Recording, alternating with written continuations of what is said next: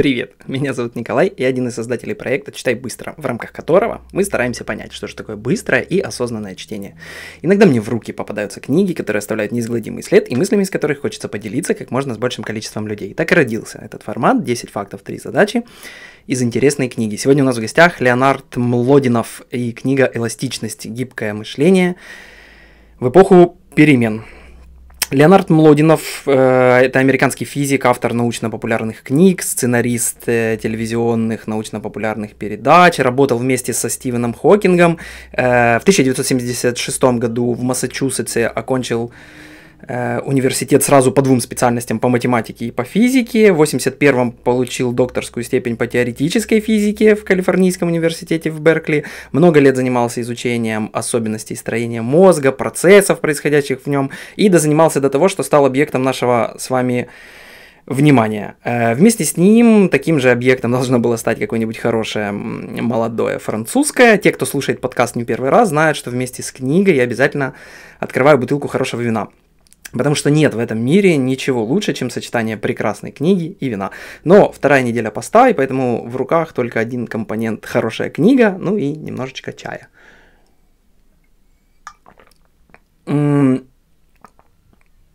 О чем эта книга? Вообще нужно сказать, что «Эластичность. Гибкое мышление в эпоху перемен» непростая книга, поскольку э, книга про нейробиологию и устройство мозга, пусть даже для самых маленьких, пусть даже для чайников, она по определению не может быть простым, но если в паре предложений, то смысл в том, что жизнь изменчива.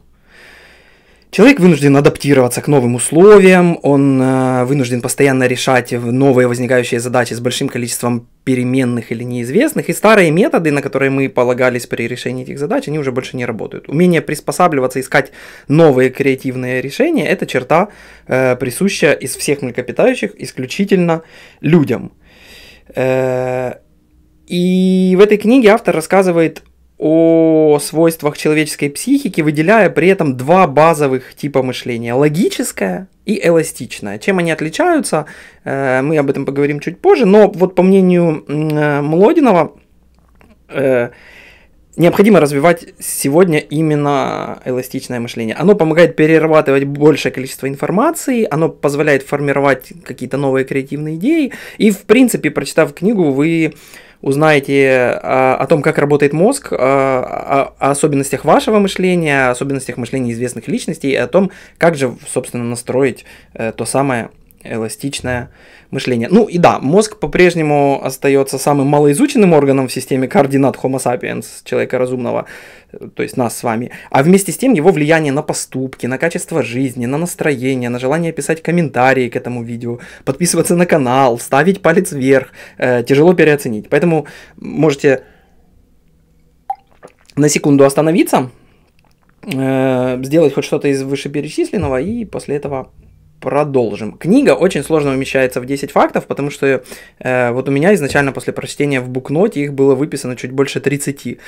Пришлось субъективно сокращать до следующих 10. Мы все наследники ноофилов. Ноофилы это такие ребята, которые склонны к поиску всего нового, исследованиям открытию ранее неизвестного. Около 135 тысяч лет назад утверждают ученые, э, которые занимаются исследованиями нашей с вами истории, э, случилось что-то такое, в результате чего выжили только те, э, у кого было достаточно желания и дерзости исследовать новое. Вот эти ученые мужи, которые там раскапывают разные слои исторические, они говорят, что количество представителей подвида который произвел потом на свет человека, в тот период сократилось, вдумайтесь, до шести сотен человек. Ну, до шести сотен особей. Сотни тысяч лет человечество оставалось вблизи своего места происхождения в Африке. Потом случился вот этот катаклизм 135 тысяч лет назад. А потом, как они определили, что выжили только те, кто был склонен к исследованию всякого нового интересного – в течение нескольких тысяч лет внезапно человек двинулся осваивать новые миры. И за 12 тысяч лет э, он сумел расселиться по всему земному шару. Вот за вот это все движение, э, ну и поскольку мы все с вами произошли, скорее всего, от этих шести сотен человек, они нам передавали свои, э, свою склонность э, к изучению всего нового, и за это отвечает, э, как уже сейчас определили ученые, так называемый дофаминовый рецептор, ген ТРТ4, который подталкивает нас не довольствоваться заданными обстоятельствами, искать новое и неведомое. Помните э, вот эти все спичи про то, что нужно выходить из зоны комфорта? Так вот, за выход из зоны комфорта как раз и отвечает ТРТ-4. И существует так называемая шкала ноофилии. Любое действие, по сути, э, вот по этой шкале, это исследование новых территорий и знаний. Что бы вы ни делали, едете вы в маршрутке и просто смотрите в окно, читаете через плечо в метро книгу другого человека, пытаетесь изучать новый иностранный язык. Это все по шкале ноофилии, исследование новых территорий, и чем выше будут ваши показатели, тем вы любознательный. А любознательность это и есть, в общем-то, один из самых основных способов получения новой информации. У вас существует после получения э, этой информации, как и у любого другого человека, всего три способа ее обработки. Программный, аналитический и эластичный. Мы вначале сказали о том, что Homo sapiens, как человек разумный, в основном пользуется двумя методами, аналитическим и эластичным. Что же такое э, программный метод? Ну, значит, первое. Итогом вот той самой любознательности, ноофилия, о которой мы с вами говорили, является значительное накопление информации, которую мозг должен э, рассортировать и обработать. Он почти никогда не использует какой-то один выбранный метод на 100%. Чаще всего это симбиоз нескольких методов. Программный, вот базовый метод, э, его еще называют автоматическим методом, он разбирается с ежедневными рутинными задачами. Это, по сути, э, ваш автопилот. Все сложные задачи решаются с помощью второго и третьего метода. И вот э, вся фишка заключается в том, что может показаться, что программный метод применяется нами только для каких-то маленьких или незначительных задач, э, которые никак не сказываются на нашей жизни. Ну, там, например, встать утром, почистить зубы, выпить чашечку кофе. Но это на самом деле не так. Э, многие из вас, кто интересуется темой э, социологии, статистики или вот, э, не дай бог, нейробиологии, наверняка слышали про эксперимент с копиром, Эм, в котором он был построен следующим образом. Стояла очередь к копировальному аппарату, и в конец очереди подходил человек, и он должен был разными формулировками попросить пропустить его без очереди. Если он подходил и говорил, простите, у меня вот 5 страничек надо отксерить, э, можно мне к ксероксу, то его пропускали всего лишь 60% опрошенных. Если он говорил, простите, у меня 5 страничек, можно мне к ксероксу, потому что я спешу, его пропускали 94% э, опрошенных.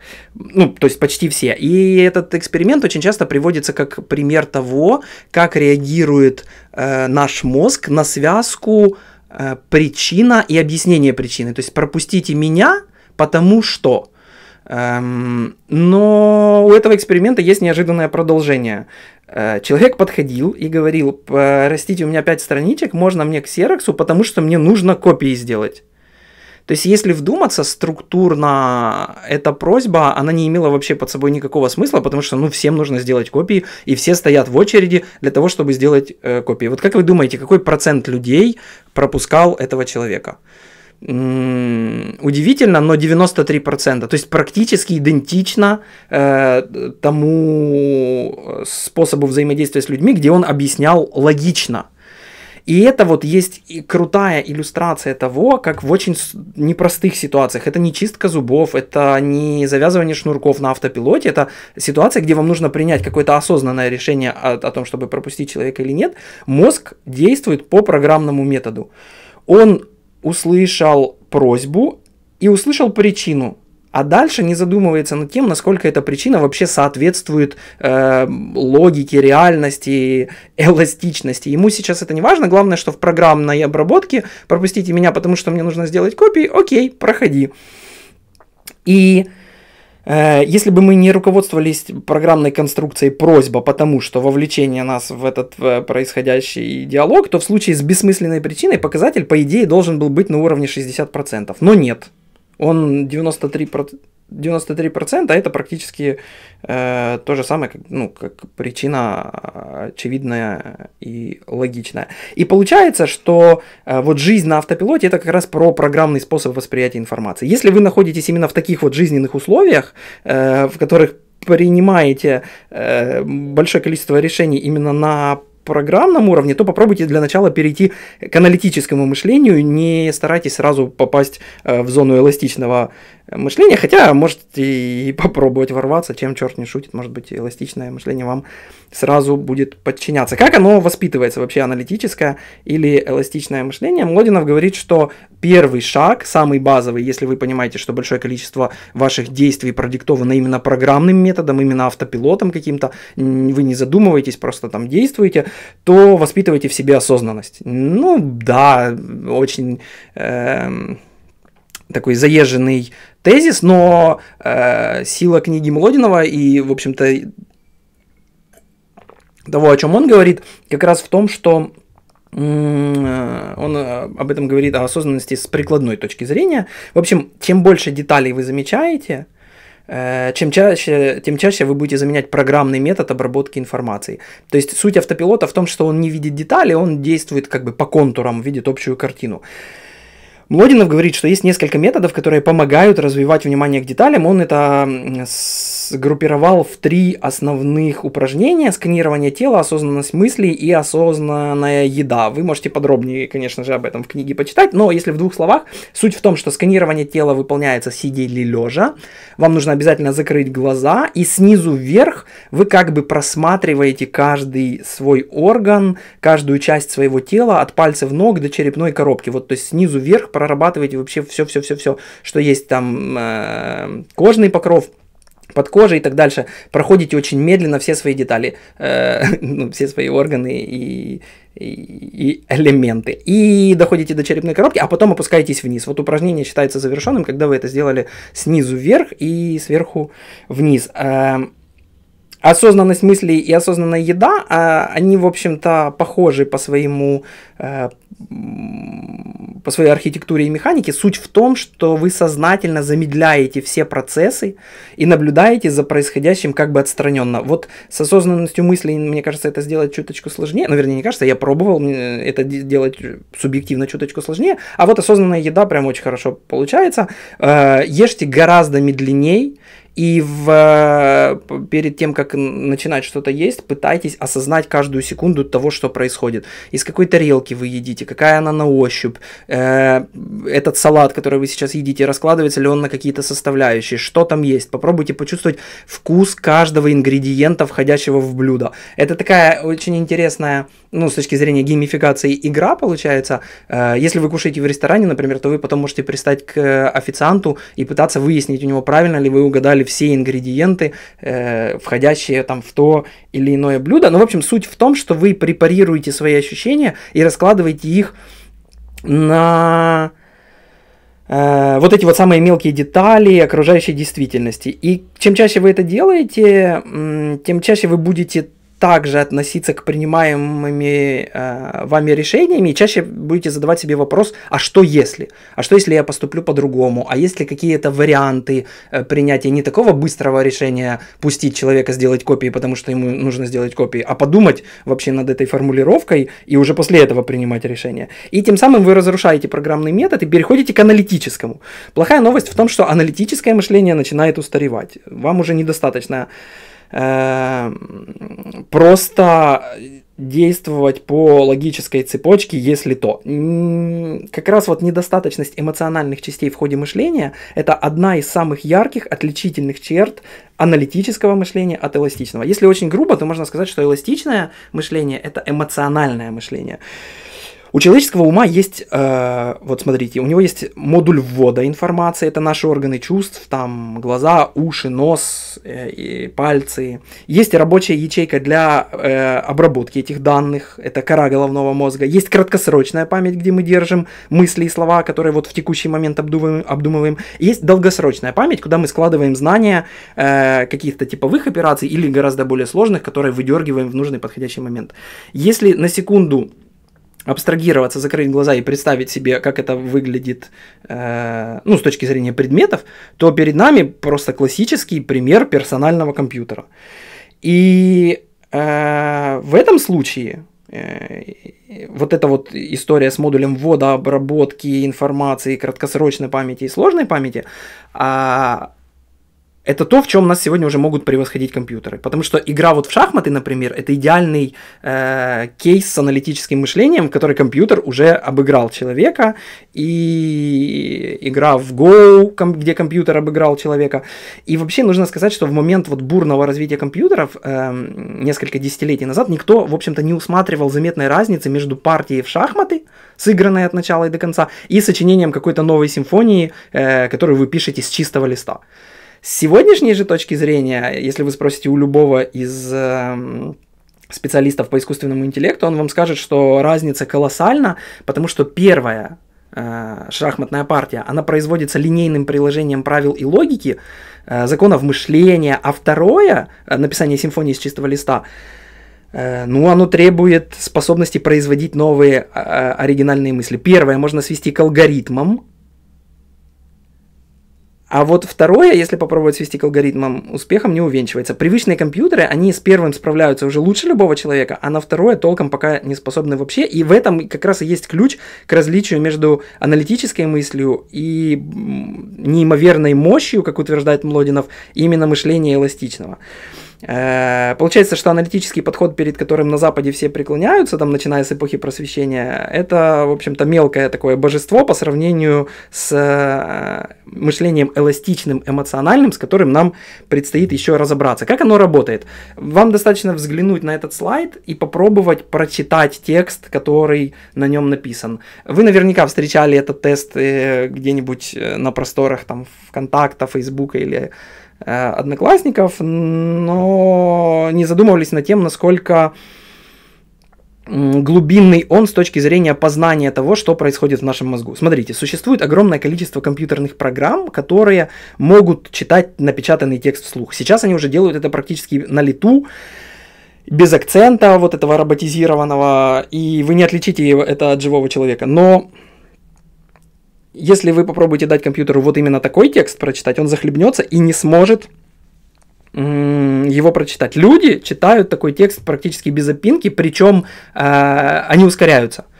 Первые две-три строчки вам было тяжело прочитать, а последние четыре, я уверен, что вы пролетели со скоростью гораздо более высокой, чем это было Э, в начале. Вот, в общем-то, неожиданная легкость, с какой мы можем прочитать этот абзац, это признак как раз эластичности нашего мышления. Если вдруг вы не смогли прочитать этот абзац, у меня для вас не очень хорошие новости, но я думаю, что 99,9% э, людей, которые сейчас смотрят на этот слайд, смогли это сделать. Ум, э, мозг, он замечает без подсказки, что что-то не так, а потом соображает, что происходит, и он сосредоточивается на том, как правильно расставлены, вот обратите внимание, что тут везде расставлены первая э, и последняя буква правильно. Э, а затем тасуют буквы в середине слов просто на, на уровне какого-то вот этого программного метода. И Получается, что почему у компьютера это не получается? Э, дело в том, что компьютер, он состоит из взаимосвязанных переключателей, в которых ну, можно разобраться по коммутационным или логическим схемам. Они работают отчетливо, следуя определенному набору шагов. Это программа или алгоритм, и э, линейно в соответствии с задачей имеющей программиста. Э, вот смотрите, ученые из Гугла, которые соединяют сейчас компьютеры все в нейронную сеть, состоящую из тысячи таких компьютеров, они э, совершают, конечно, впечатляющий подвиг, и это многообещающий подход, но э, с точки зрения человеческого мозга это просто огромный калькулятор, которому нужно вводить определенную информацию, чтобы он ее пытался обработать. Наши мозги э, способны на несоизмеримо более грандиозные подвиги, на формирование нейронных сетей из миллиардов клеток, и каждая из этих клеток при этом связана с тысячей других. Из таких сетей складываются еще более масштабные структуры, структуры, а те, в свою очередь, в громадные и так далее, далее, далее, в сложнейшую иерархическую систему, которую ученые вот только-только начинают постигать. То есть, конечно же, э, супермощные компьютеры это очень круто и здорово, но они там и, и, и 3% нашего мозга не могут еще воссоздать по структуре нейронных связей. Почему так происходит? Потому что весь ключ лежит в системе вознаграждения, плюс э, немножечко в синдроме дефицита внимания и гиперактивности, о котором очень много говорится в книге «Микротренды», э, которая у нас тоже выходила с обзором на канале, я ссылку закину в описание, если вдруг захотите ее послушать. По, в моем личном рейтинге была одна из лучших книг 2019 года. Суть в чем? Дофамин, э, который действует совместно с другими э, химическими элементами в сложном порядке с группой разнообразных структур в вашем мозге, он заставляет активизироваться систему вознаграждения. При значительном повышении уровня дофаминов человек становится одержимым. Там есть в книге очень крутой, крутая история про то, как болезнь Паркинсона, в общем-то, лечат те бомбардировкой дофаминами, э, и они из-за этого попадают во все структуры головного мозга, а не точечно, как это принято у здорового человека. И из-за этого люди с увлечениями которые пытаются излечиться вот благодаря такой дофаминовой бомбардировке, они становятся одержимыми. Там была женщина, которая была художником, и она писала на, хол, на холстах. И, в общем, когда началось лечение вот этой вот болезни, она не могла остановиться, она рисовала просто 24 часа, э, вырубалась там же, просыпалась и продолжала рисовать, рисовать, рисовать. И вот эта вот история, она, в общем-то, исследователям дала повод копаться в том, э, как люди из-за э, переизбытка или недостатка дофаминов могут включать или отключать эластичное мышление бессознательно. Ну и, конечно, набирающий обороты СДВГ, вот этот синдром дефицита внимания и гиперактивности, можете почитать про него больше, это сейчас э, новая такая тема. В СДВГ есть одна особенность. Э, ну, звучит страшновато, но на самом деле ничего такого. Дофаминовые рецепторы структур вентральной области покрышки прилежащего ядра мозга, зачитываю я вам сейчас с листика, они в, при синдроме э, СДВГ повреждены. И это приводит к деятельности структур вознаграждения в мозге гораздо более активными, что, соответственно, больше подталкивает к действиям. Э, ну, в общем, если э, вы или ваш ребенок страдает синдромом дефицита внимания и гиперактивностью, это может быть очень круто с той точки зрения, что эластичность мышления вас или вашего ребенка будет на порядок выше, чем если бы у вас не было этого диагноза. Да, с одной стороны, повседневные действия людям с СДВГ производить сложнее, потому что все однообразно и неинтересно, но любая нетривиальная задача, она стимулирует контуры вознаграждения, и человек становится одержимым, в хорошем смысле, пока не решит эту задачу. А когда решит, он по, э, постигает удовольствие. Э, вот то самое удовольствие постижения результата, э, это и есть итог эластичного мышления. И тут что важно, идеи любые, которые рождаются в вашем мозгу, и успешные, и провальные, и хорошие, и плохие, если можно так сказать, они продуцируются мозгом одинаково. Важен процесс, а не результат. Суть в том, чтобы вы пробовали все время продуцировать идеи, не останавливались по причине ошибки. И э, мозг человеческий, он, э, вот вдумайтесь в тезис, он в силах распознать интеллектуальную прелесть в любой гипотезе, независимо от ее правдивости или ложности. Любая ложная на сегодняшний момент гипотеза может стать просто отправной точкой к поиску следующей, и вы так по цепочке эластичного мышления придете все-таки к правильному решению. Э, две вещи, которые э, помогут вам, если вы выполнили все э, приемы по осознанности и воспитали переход в себе от программного метода к аналитическому, то переход от аналитического к шаблонному Э, будет заключаться в двух вещах. В нешаблонной проницательности и в озарении в момент бездумия. Нешаблонная проницательность. Э, суть в том, что когда вы рассуждаете логически, вы ставите рамки, рассматривая ситуацию с ограниченного ракурса своего собственного опыта или там полученной какой-то информации из других источников. Мозг анализирует эту информацию, анализирует ваш прошлый опыт и проектирует его на новую ситуацию, применяя те же переменные. Но в этот раз может быть все иначе, и вы не позволяете себе из-за шаблонной непроницательности э, применить какие-то новые приемы. Гибкость ума это как раз способность э, расширить эти незримые границы восприятия и изменить начальные условия. Людей с эластичным мышлением еще называют проницательными, и вот в этом и суть, что э, как бы проницательность это черта, ключ к решению задач вообще всего человеческого мира. Мы чаще всего мыслим шаблонно и непроницательно. Постарайтесь мыслить не шаблонно и проницательно. Ставьте под сомнение весь опыт, который был у вас э, до текущего момента, и старайтесь каждую новую ситуацию пытаться решить по-новому. Ну и э, одна из самых, наверное, приятных таких э, историй с точки зрения развития эластичного мышления в том, что озарение очень часто наступает в момент бездумия.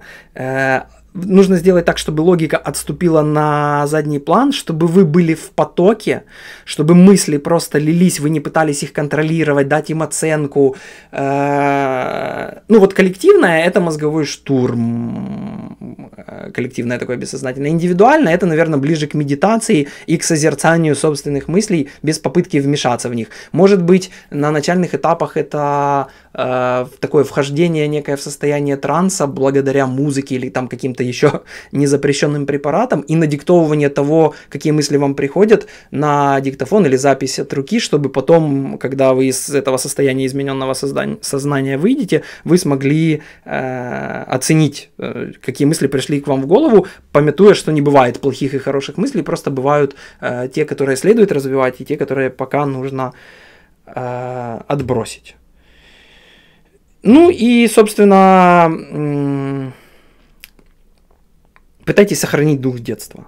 Оригинальные мысли, они возникают из потока идей, и большинство из них, вот, э, как я уже говорил, они, возможно, будут несуразные или казаться, что, ну, какие-то нелогичные. Э, вот даже в самой формулировке понятно, да, что те мысли, которые мы считаем нелогичными, мы отбрасываем, потому что э, руководствуемся аналитическим мышлением, а не стараемся пытаться изменить его на эластичное. И дети, они являются идеальными эластичными мыслителями, потому что у детей недостаточно развита логика в силу отсутствия опыта. Они не накопили еще опыт, и по этой причине они руководствуются именно эмоциональным эластичным мышлением. Взрослый человек, он постепенно теряет креативность, поскольку загоняет себя в рамки уже решенных задач, накопленного опыта и, в общем-то, действия по шаблону э, «если то». Но перенастроив мышление, вы сможете попробовать стать таким же генератором идей, как ребенок. И если делать это системно и постоянно, то не за горами тот день, когда вы смените аналитическое мышление на эластичное. Такими вот были быстрые 10 фактов. Я старался как мог. Мне все время всегда тяжело очень с э, такими монументальными книгами, потому что так много всего вам хочется рассказать, мысль начинает прыгать, ты, когда проговариваешь какой-то один из фактов, вспоминаешь, как много их было еще там интересных, и хочется и вот про эту историю рассказать, и про эту, и про эту, и про эту, но формат такой, что всего 10 фактов и всего 3 задачи. Задачи всегда записываем в букнот, это такой блокнот для осознанного чтения. Э, вот еще одно доказательство тому, что они должны быть записаны, потому что если в момент получения информации вы находитесь в состоянии какого-то эмоционально подвижном, э, предрасположенном к эластичному мышлению, то лучше записывайте все мысли, которые вам приходят в голову, для того, чтобы потом их рассортировать. Рассортировать обязательно нужно в задаче. Есть из фактов, из мыслей нужно сформировать по смарту измеряемую, конкретную, достижимую и так дальше. Цель, которую вы пойдете и просто закроете после того, как дочитаете книгу. Таким образом, каждая книга приносит вам макси- максимум пользы.